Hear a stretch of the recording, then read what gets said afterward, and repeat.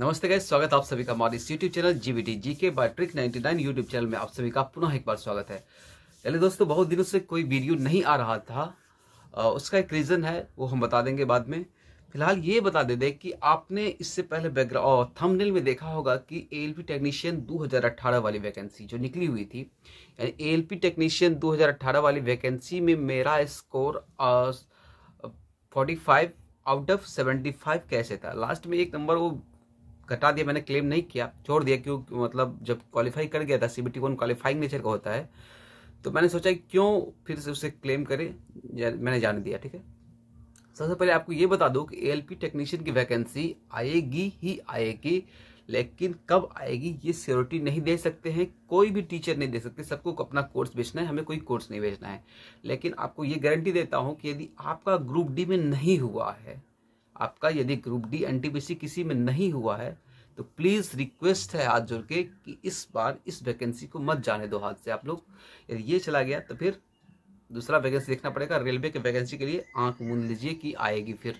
और ये जो वैकेंसी आएगी, वो एक्टिव मोड में आएगी, यानी कि आपका एग्ज़ाम समय समय से पहले कंप्लीट करवा लिया जाएगा। वो चार साल, तीन साल, दो साल वाली नहीं, एक साल के अंदर में कंफर्म कंप्लीट करवा लिया जाएगा, क्योंकि 2024 में इलेक्शन है। ठीक है? तो सबसे पहले उस चीज़ को ध्यान में रखिए। अब चलिए हम आपको बता देते हैं कि एएलपी टेक्नीशियन की सिलेबस क्या होती है। एएलपी टेक्नीशियन कौन भर सकता है? इसके बारे में। आपको हम बैकग्राउंड में साइड में दिख रहा होगा, दिखा देंगे या फिर फ्रंट में दिखा देंगे। सबसे पहले एएलपी टेक्नीशियन के लिए आपके पास क्वालिफिकेशन क्या होनी चाहिए? यदि आपने केवल दसवीं किया है टेंथ किया है, किसी भी बोर्ड से, और आपके पास आईटीआई सर्टिफिकेट है तो आप एलिजिबल हो एएलपी यानी असिस्टेंट लोको पायलट जिसे ड्राइवर कहते हैं, या फिर लोको पायलट कहते हैं, और टेक्नीशियन दोनों के लिए एलिजिबल हो सकते हो एलिजिबल फॉर्म भर सकते हैं आप। जब यदि आप टेंथ प्लस आईटीआई किए हैं तो। यदि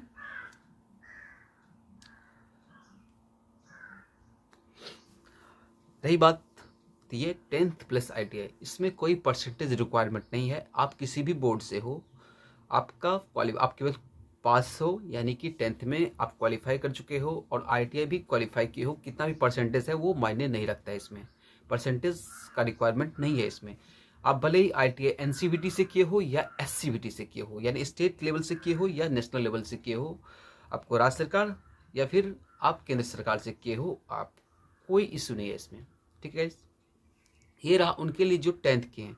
अब रही पीसीएम सोच रहे बहुत सारे स्टूडेंट मैंने ग्रेजुएशन कंप्लीट करके क्या मैं बढ़ सकता हूँ। हाँ बढ़ सकते हैं, लेकिन आप साइंस बैकग्राउंड से हो तब।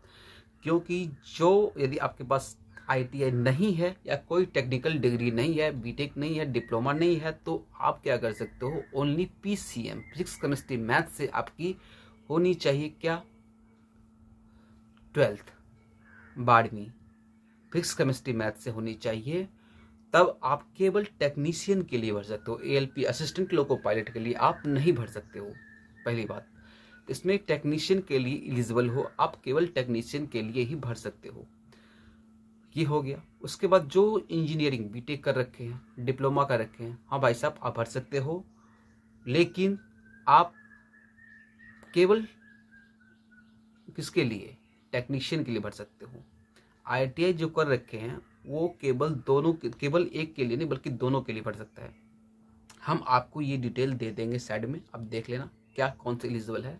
चलिए अब दूसरे टॉपिक पे बात करते हैं क्योंकि ज़्यादातर इस टॉपिक पे बात करेंगे वीडियो लंबा हो जाएगा और आप लोग देखोगे नहीं। ठीक है? मेरा रिज़ल्ट क्या हुआ मैं क्या करता हूँ उसके बारे में भी बता देंगे आपको। आ, कुछ दिन पहले आ, आपने मेरा रिज़ल्ट देखा ही होगा। चलिए फिर भी बता देते हैं। सबसे पहले अब हम चर्चा कर लेते forty five out of seventy five मेरा आया कैसे था? फोर्टी सिक्स के आसपास था शायद। फोर्टी सिक्स के आसपास था। दो क्वेश्चन मैंने आ, मैंने सोचा सब क्लेम कर ही रखा होगा तो मैंने क्यों करूँ? मैंने आ, मैं क्यों करूँ? इसी हिसाब से मैंने करा नहीं। पहले बार में जब एग्ज़ाम हुआ था 2018 में तो कट ऑफ़ कितना कि हमें याद नहीं है। आ, लेकिन रिवाइज रिज़ल्ट दिया गया था। रिवाइज रिज़ल्ट दिया गया था। मैं वेस्टर्न मुंबई से था। मैंने फॉर्म फिलअप किया था वेस्टर्न मुंबई से। रिवाइज कटअप वेस्टर्न मुंबई नहीं मुंबई से किया था, उसमें मैं दोनों एक ही थे मेरे हिसाब से। सेंट्रल वेस्टर्न दोनों का वैकेंसी एक ही साथ निकला हुआ था। और मैंने वेस्टर्न और मैंने मुंबई से फॉर्म फिलअप किया था।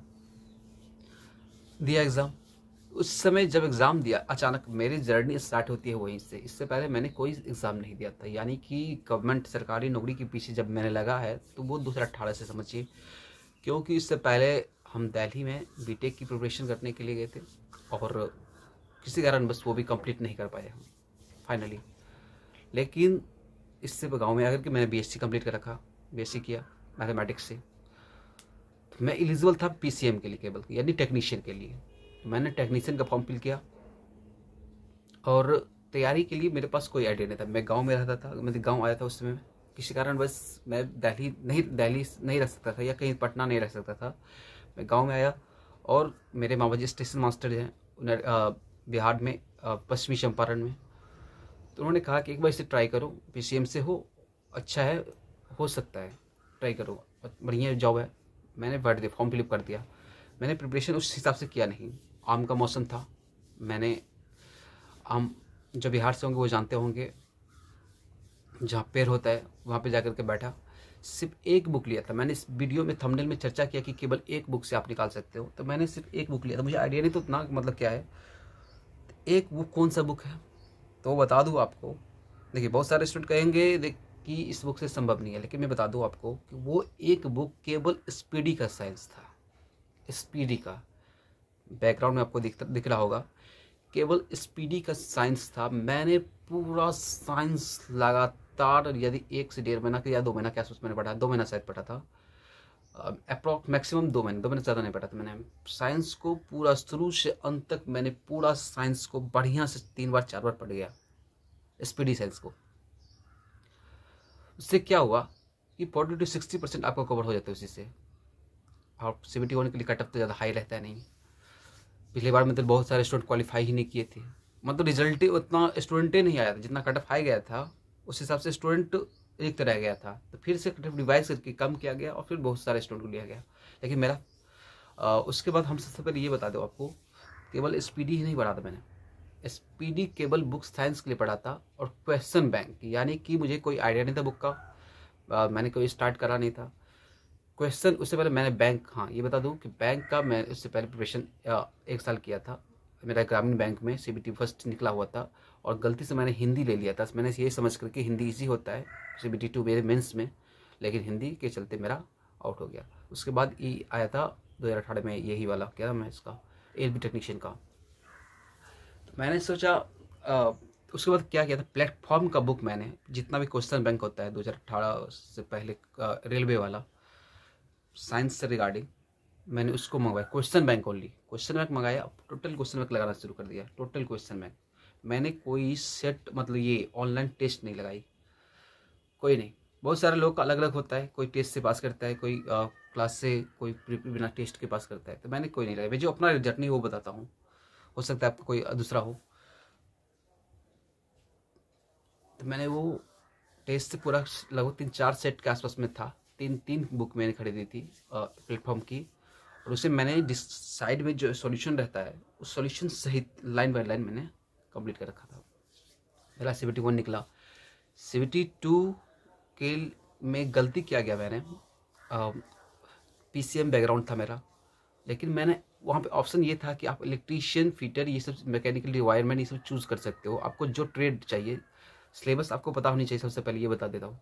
सिलेबस ही होता है कि एलपी टेक्नीशियन में आपका सिलेबस होगा, सबसे पहले सेवेंटी वन होगा, जो सेवेंटी फाइव मार्क्स का होगा, पचहत्तर नंबर का, जिसमें बीस नंबर मैथमेटिक्स होगा क्वान्टिटिव एप्टीट्यूड पच्चीस नंबर आपका रीजनिंग होगा, ये हो गया कितना? पैंतालीस नंबर और बीस नंबर आपका बेसिक साइंस होगा, यानी टेंथ लेवल का बेसिक साइंस होगा बीस नंबर जो ग्रुप डी की तैयारी किए हैं, उनका तैयारी समझिए है ही मतलब सी बी टी वन निकलेगा ही, निकल ही चुका है, समझिए सी बी टी टू की प्रिपरेशन करनी है। उसमें मैक्सिमम फेल होते हैं, वही स्कोरिंग है। तो सी बी टी वन में ये हो गया, दस नंबर का करंट अफेयर जी जी के जो भी होता है, वो सब पूछता है। तो ये क्वालिफाइंग नेचर का रहता है forty five forty two percent के आसपास में शायद जनरल के लिए या फिर इस हिसाब से लाना होता है। तो ये क्वालिफाइंग नेचर का है, ये नंबर नहीं जुड़ता है। सी बी टी टू में आपका पार्ट ए और पार्ट बी में बटा रहता है। पार्ट ए जो होता है तो पार्ट ए सौ नंबर का होता है, जो मेरिट के लिए काउंट होता है इसका नंबर इसी पे मेरिट बनती है। और पार्ट बी केवल ट्रेड का होता है जिस ट्रेड से आप हो यदि आप पीसीएम से हो तो पीसीएम से पूछेगा। यदि आप फीटर से हो फीटर से पूछा जाएगा। फीटर ट्रेड से ट्रेड थ्योरी पूछा जाता है और और कुछ नहीं इसमें। यदि आप इलेक्ट्रीशियन से है तो इलेक्ट्रीशियन से पूछा जाएगा। यदि आप मैकेनिक डीजल मैकेनिक डीजल से है तो मैकेनिक डीजल से वही। इस हिसाब से वायरमैन इसी ये जो भी हो इस हिसाब से वो ट्रेड होता है। ट्रेड भी क्वालिफाइंग नेचर का हो, होता है। उसमें शायद मेरे हिसाब से क्वालिफाई करना होता है। तीस तीस नंबर तीस बत्तीस नंबर काफ़ी है उसमें आउट ऑफ़ सेवेंटी फाइव पचहत्तर नंबर का होता है वो। तो इसमें क्या है कि यदि आप ट्रेड में फेल कर जाते हो, भले ही आप पार्ट ए में आपका सौ में नाइन्टी नंबर है, फिर भी कॉपी चेक नहीं होगा, यानी कि आपका उसका कोई वैल्यू नहीं रहेगा। इसीलिए आपको सी बी टी टू में ट्रेड को पहले पास करनी ही करनी है, फिर सी बी टी टू का जो पार्टी होगा, वो चेक होगा, उसी हिसाब से मेरिट बनेगी। जो एल के लिए भर रखे हैं, यानी प्रेफरेंस डाल रखे हैं पहले तो उनका साइको होगा। और टेक्नीशियन में कोई साइको नहीं होगा। टेक्नीशियन में डायरेक्ट मेरिट बनेगी। एल में साइको होगा, जिसका सेवेंटी परसेंट और थर्टी परसेंट के हिसाब से नंबर काउंट होता है। ठीक है? थर्टी परसेंट इसका सेवेंटी परसेंट पार्टी का काउंट होगा, उसके हिसाब से मेरिट बनेगी। तो आईटीआई वाले को लिए तो सुनहरा मौका है फिर। जो कर रखा है, उनको तो ठीक बढ़िया है कि लग जाना चाहिए। तो ये रहा। बुक की जर्नी मैंने बता दिया कि मैंने केवल स्पीडी पढ़ा और क्वेश्चन बैंक प्लेटफॉर्म का बन लगाई। मेरे पास सी वन देने के बाद सी टी के लिए ज़्यादा समय था नहीं। तो मैंने प्लेटफॉर्म से एस के जस्तर का एक बुक आया था इलेक्ट्रिशियन ट्रेड का। मैंने इलेक्ट्रिशियन ट्रेड गलती से चूज़ कर लिया था क्योंकि वहाँ पे ऑप्शन था कि आप पीसीएम में या तो फिजिक्स केमिस्ट्री मैथ चुनो या तो फिर आप इलेक्ट्रिशियन या फीटर कोई भी चूज़ कर सकते हो, भले ही आप पीसीएम बैकग्राउंड से हो। तो मैंने इलेक्ट्रिशियन गलती से चूज़ कर लिया। क्योंकि मैंने समझा बीटेक में थोड़ा इधर है तो कर लेता हूँ। लेकिन सिलेबस, एक किताब मुश्किल से पंद्रह दिन पढ़ा, पंद्रह दिन पढ़ा, दिन रात करके। मेरा बाईस से तेईस या चौबीस मार्क्स के इस हिसाब से मार्क्स आया था और नॉवलाइज होकर के शायद तैंतीस से चौंतीस नंबर के इस पास तैंतीस से पैंतीस नंबर के आसपास नंबर था। देख लेंगे, बैकग्राउंड में बता देंगे।